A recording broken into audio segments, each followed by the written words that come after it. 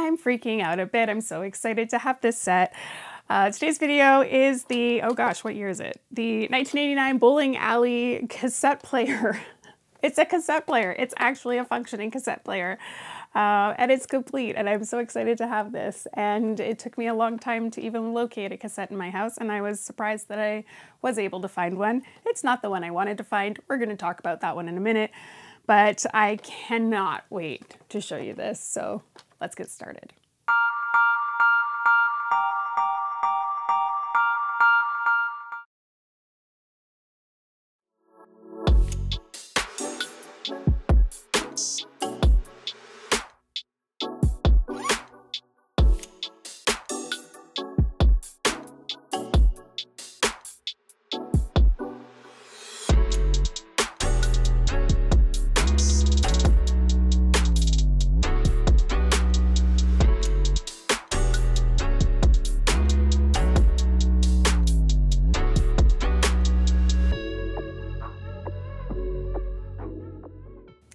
Gosh, I am so excited to show you today's video, which is the 1989 disco cassette player. This bowling alley set is unbelievably awesome.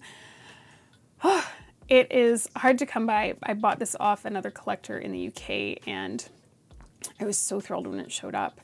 Um, it's in working condition, so I'm going to show that to you today, but uh, unfortunately I could only find one cassette in my house um, which quite frankly is, I think, a feat in its own. It's not like a lot of people hoard cassettes anymore.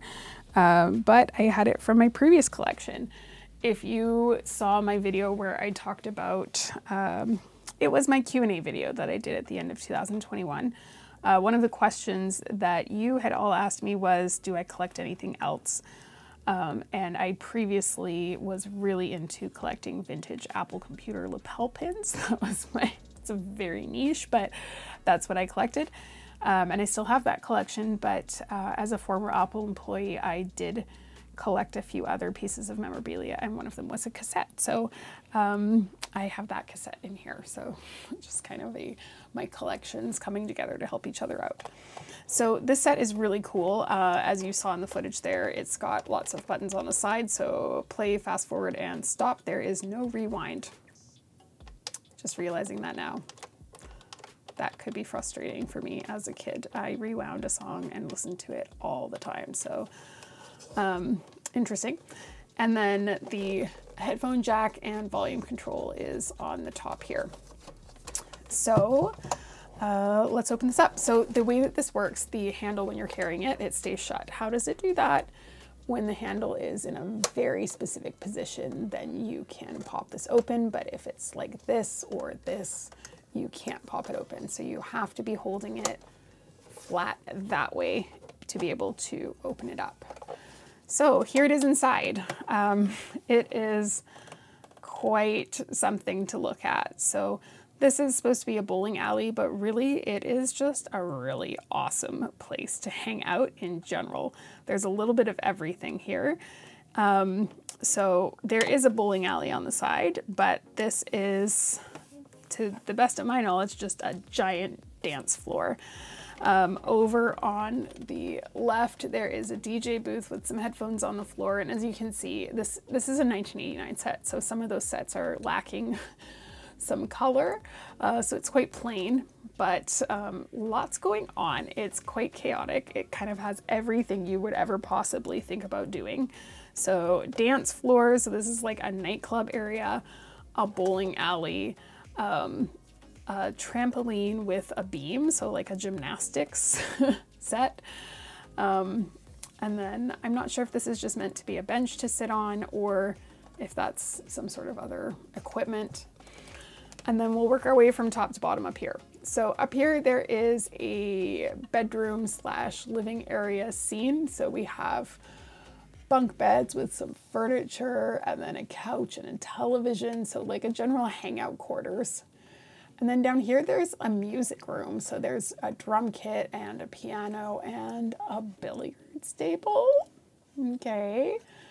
And then I, I love how they've got the stairs connecting. So stairs here, stairs here. I used to always get caught up, I mean, used to, I do all the time now, um, get caught up in the logistics. So I appreciate that there's stairs. Um, and then here we have, oh gosh, now I'm getting mixed up. That was a, I think this is supposed to be like a ping pong table, sorry. This is a billiards table, so that's a pool table. Um, and then there's a table to hang out, an arcade machine, and then this, I believe, is supposed to be like a soda fountain or cafeteria, so a place to get refreshments. And then more stairs, there's a sauna and um, what appears to be, I'm gonna say, a steam room, maybe? And some showers and a change room with some lockers. So um, that's a lot. That's a lot going on. I, I can barely fit this in the uh, video there, but it's there's a lot going on here. So that is the the set itself. Um, I want to talk a little bit about the figures and then we will get into the actual cassette player function of it. So this came with a whopping six figures, which I mean, there's a lot going on, so I get that. But I also feel like some other sets are completely lacking figures when they should have them. So no rhyme or reason. Um, in great news, the figures are in amazing condition. So uh, first and foremost, as always, we have a Polly in this set, and Polly is in one of her most classic outfits. She's wearing a pink dress, white shoes, a red headband with a white bow tie around her neck.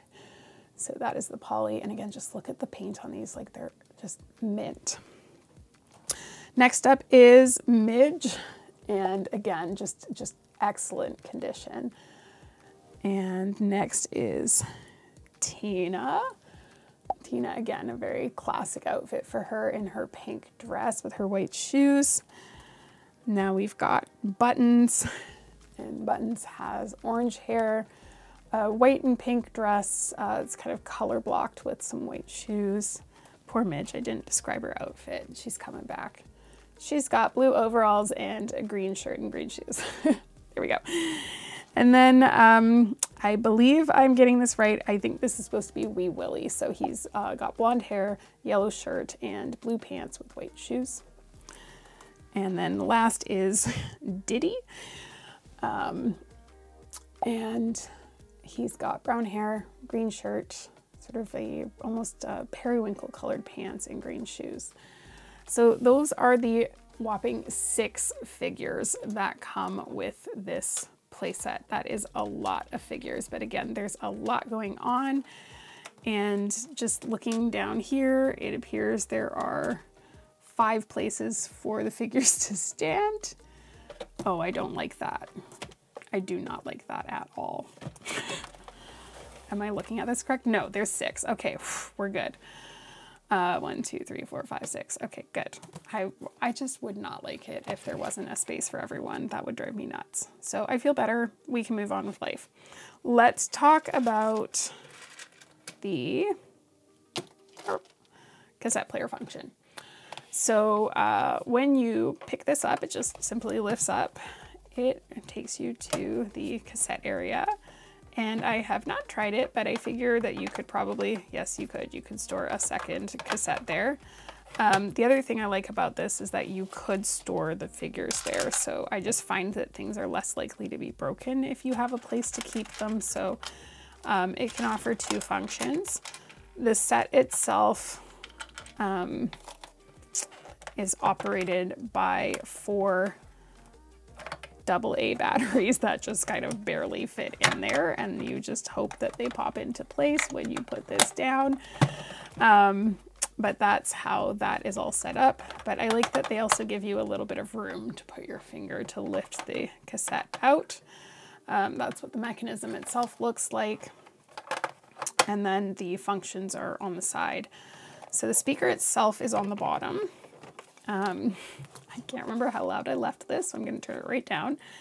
And we're going to turn it on, and um, I'll just turn it on for a little bit. Uh, this music is awful. Um, the cassette, I want to say, is probably mid 80s. Um, I'm going to hazard a guess it's around 85, um, maybe even earlier. So just be prepared for the fact that the music's not very good. Okay. So play function.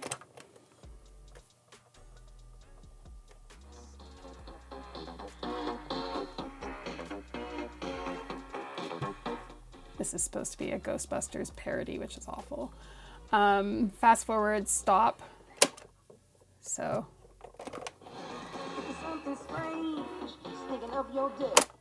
Okay, so there's that.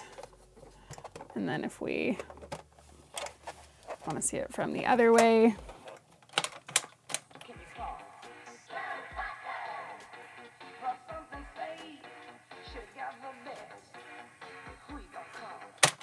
Okay, so that is the cassette player function. So it's cool. Um, it's, there we go, a bit, um,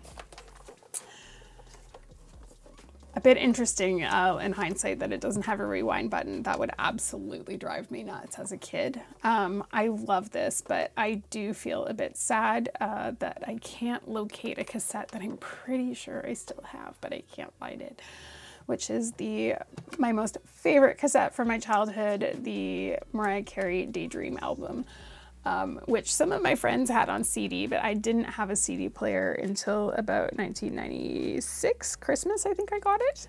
Might have been my birthday in 97. Neither here nor there. But uh, I didn't have a uh, CD player until about at least a year or two years after that album came out. So I had it on cassette, and it is probably completely worn out and I think I'm gonna have to go hunt for it at a thrift store now, but that's really what I wanted to play in here, um, just to complete the vibe of my childhood. So um, do you have, for those of you that are, at least for those of you that are in your 30s or older, um, do you have a album that you remember listening to on cassette that just reminds you of your childhood? For me, it's that Mariah Carey Daydream album but uh, I would love to know from a nostalgia perspective do you have a cassette that you completely just like wore out in your childhood? That one was probably listened to so much. I'm sure it's in rough shape if I do still have it around, but I don't recall getting rid of it, so I'm going to keep looking. Um, but let me know in the comments and let me know what your favorite thing about this is. I mean, it's it's such a great set. There's so much going on with it, but um, I'm really just excited to have it in my collection and to be able to have one that's functioning and complete. That's really, that's the, the goal with this set. So um, that is the 1989 Bowling Alley Disco cassette player.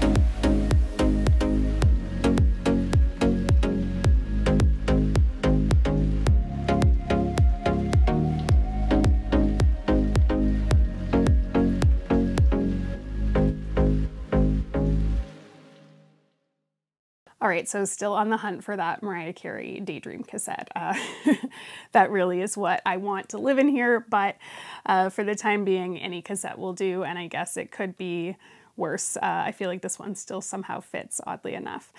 What was your favorite thing about this, aside from the fact that it's a cassette player?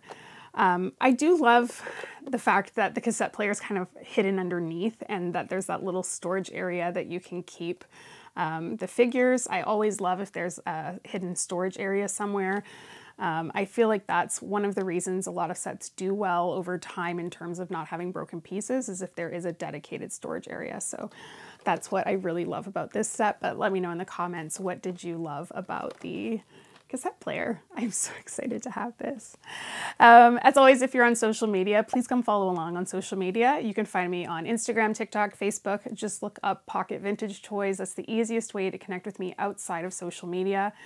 And if you haven't hit the subscribe button yet, please hit the subscribe button. It helps out the channel so much. Just a reminder, when I hit 5,000 subscribers, I'm going to be doing my draw for my giveaway, which is a complete Precious Puppies playset. So um, Polly Pocket Precious Puppies playset, just in case I wasn't clear.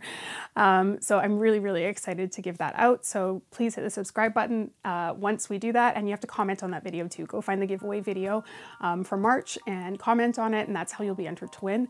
So make sure you hit the subscribe button so that you can take part in that as well. Um, and as always, thank you so much for watching. I'll see you in the next video.